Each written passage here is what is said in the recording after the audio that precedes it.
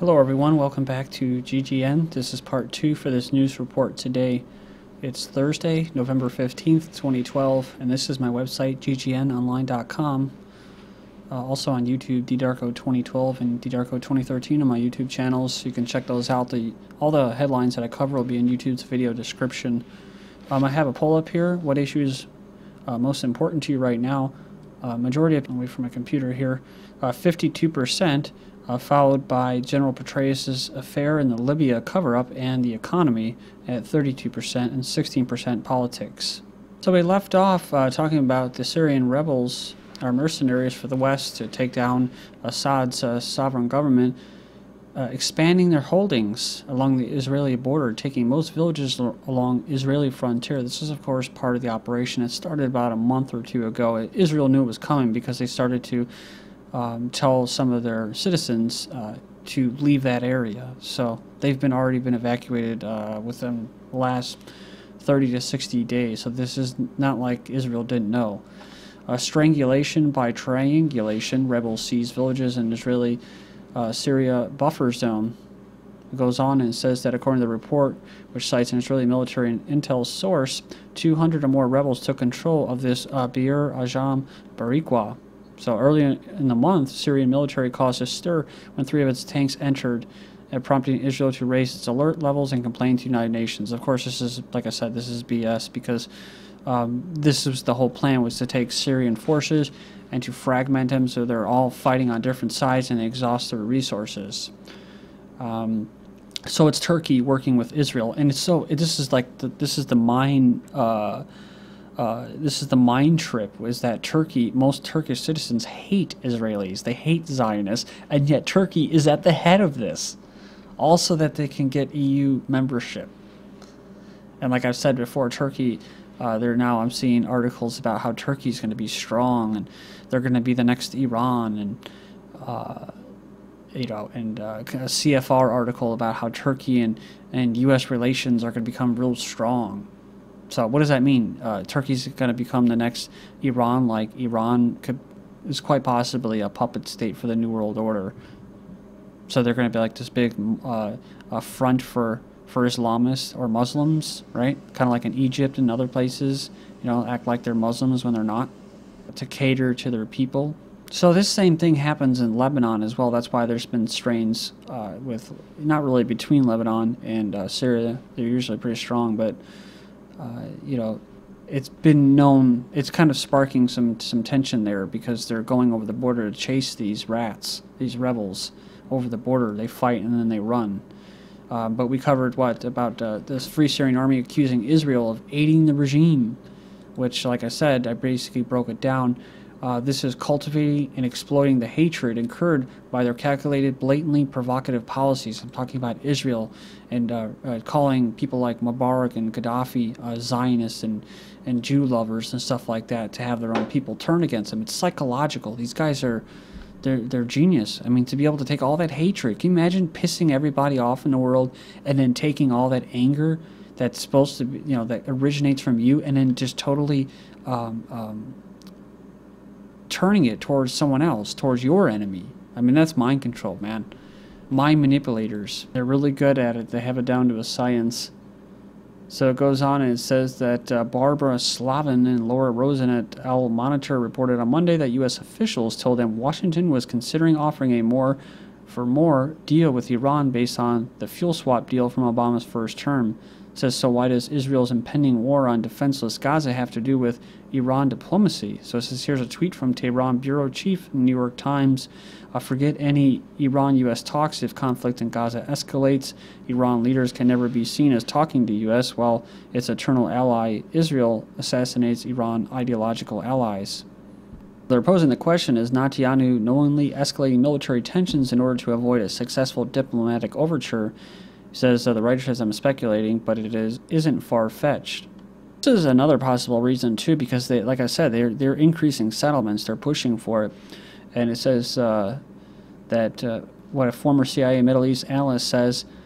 He referred to this week as Netanyahu's tension-stoking brinkmanship to divert attention to continued Israeli occupation of Palestinian territory and uh, basically, like I said, expanding more. Now the situation situation may have reversed. Israel's escalating war with Gaza to maintain deadlock with their favorite scapegoat, Iran. Then next up, does Washington really want diplomacy with Iran? An apparent volte-face, Obama has revealed that the U.S. has decided to resolve the so-called Iranian nuclear dispute by means of dis, uh, diplomacy. So this is the quote uh, that Obama told a White House news conference on Wednesday. With respect to Iran, I very much want to see a diplomatic resolution to the problem, saying I will try to make a push in the coming months to see if we can open up a dialogue between Iran and not just us, but the international community to see if we can get this thing resolved. So, um, you know, it's like I, I said before, Iran, Iran is open to talks. They've tried before. They've allowed them into their country to inspect them. Um, but, you know, this is the thing. The West doesn't want to talk, them, talk to them, to Iran, unless Iran tells them what they want to hear, which is no, we don't have a nuclear program, or no, we won't do it.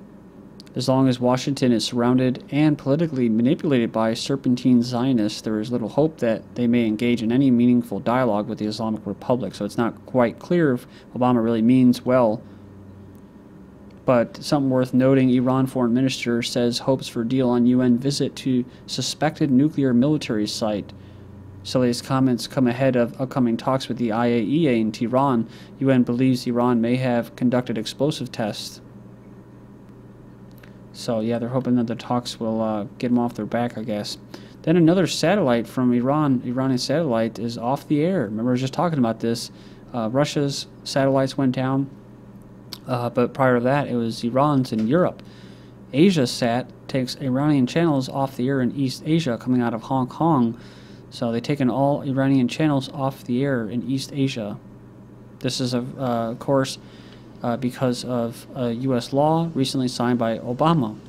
So, to impose sanctions, anyone doing business with that. Almost 40% of AsiaSat's shares are owned by GE, which itself is owned by an American company. Says that um, in a flagrant violation of freedom of speech, two satellite providers, uh, uh, EU basically, and Intelsat, stopped the broadcast of several Iranian uh, satellite channels in October, citing pressure by the EU. Then we have Syrian opposition says West has promised military aid. The new national coalition claims its accountability and unity has assuaged concerns about arming uh, the rebels. But Obama says he's not prepared yet to recognize the Syrian coalition or rebels. The president would not defend the meddling already taking place. So, the Obama regime led the effort to establish a new Syrian coalition, handpicking people to convene in Qatar this month and pretend the opposition is unified but obstacles like links with Islamic jihadists still remain. He believes the new council is legitimate uh, representative aspirations of the Syrian people, but he said, We're not yet prepared to recognize them as some sort of government in exile. That's, of course, because it's failed, just like in Libya. So they don't want to, uh, they don't want to um, basically uh, recognize their own mistakes.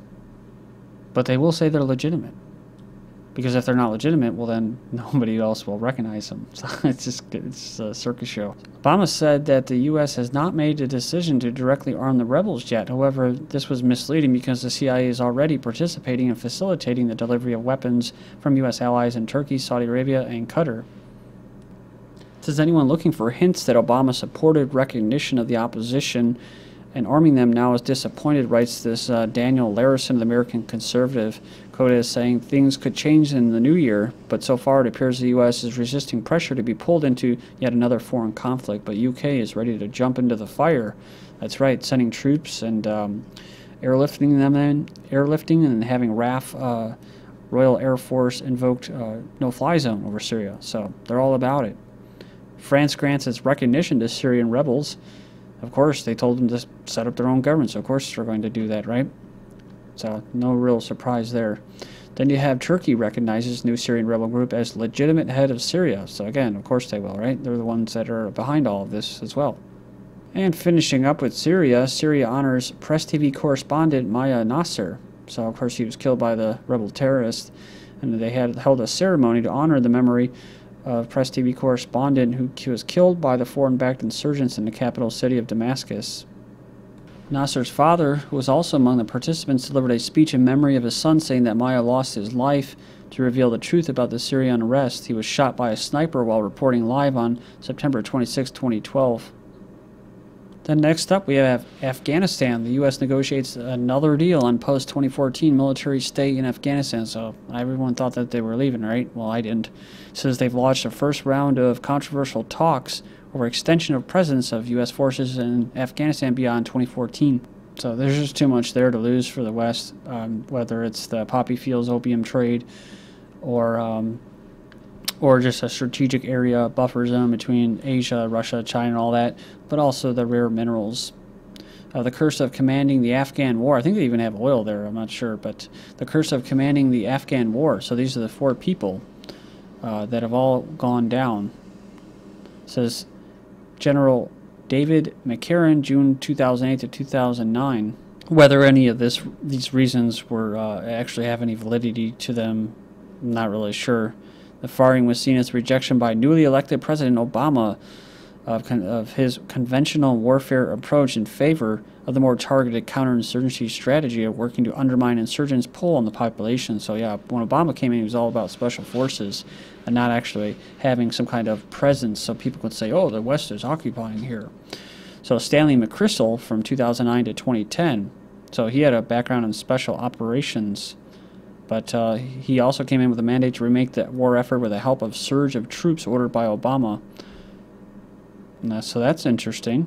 And it says here that a year into that push, an article in Rolling Stone quoted McChrystal's uh, team making disparaging comments about their commander in chief. Obama called McChrystal back to Washington to explain and force him to resign, followed by Petraeus from 2010 to 2011. He was there to fill the void left by McChrystal. And lastly, John Allen, uh, July 2011 to the present, he was appointed by Obama to oversee the drawdown of U.S. and international forces. But his nomination to become the next commander of the U.S. European Command and the commander of NATO forces in Europe has now been put on hold, as he's now been alleged of inappropriate communications with the whole Petraeus debacle. Afghan massacre involved multiple shooters, says the investigator. So here we go again. Remember, first they said they had multiple shooters. Then they said that they didn't right before the trial, and now the trial's kicking off, and they're saying they did have multiple shooters. So where are those guys? You know, bail's ignored. We are children, shouts Afghan witnesses say. So it goes on here, and it says that the Afghan children awakened in the dead of night with a terrifying warning. An American soldier was in the village, and he had shot at least one man to death. He killed my man, their neighbor's wife cried.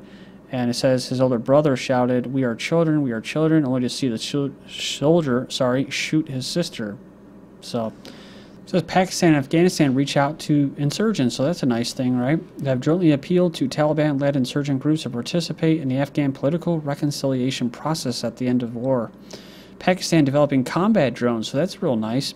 It says uh, Islamabad, which publicly condemns the attacks by U.S. drones are going to build their own drones. So and they can rally about uh, you know drone strikes, uh, but they'll be coming from themselves. So I don't know how they're going to deal with that uh, as far as their people go who don't want them, because they're taking all that cash from the West, so they have to keep doing them. Iraq's Kurdish region sees economic boom. Remember, I just covered this about uh, Kurdish economy rising. They're helping to create an independent homeland. So I think that's part of the plan. U.S. AFRICOM ready to consider requests for Mali military support. This verifies what I said last time in a set of videos earlier this week about uh, the Mali invasion is ready, pretty much set to go. So now U.S. AFRICOM is ready to support them. Mali, French troops won't go to Mali, so just like everything, they're they're going to push all this, but they're not going to go. Must be learning from uh, the United States and that uh, in the UK to just arm the terrorists, arm the, the minority groups and uh, the extremists and stuff like that, and have them do your dirty work. Something that slipped under the radar from November 6, South African police planted knives on dead miners. The video also showed dead workers were in handcuffs. Talking about the South African mine shooting last August, police planted weapons near the workers' dead bodies following the protest. If gunmen killed two Chinese workers in Nigeria, yeah, China is trying to vie for Africa's resources as well. Beijing Automotive Works opens taxi plant in South Africa. From August, Zambian miners killed Chinese manager during pay protests.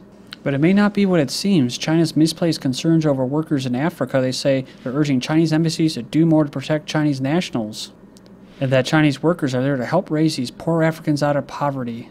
The Chinese workers are already extremely well protected living behind these vast walled compounds. Prior to the Obama visit, Myanmar releases 452 prisoners, although they don't know how many of them are political prisoners. Makes sense though, US destroys Syria, we're propping up Cambodian dictator. Thank you.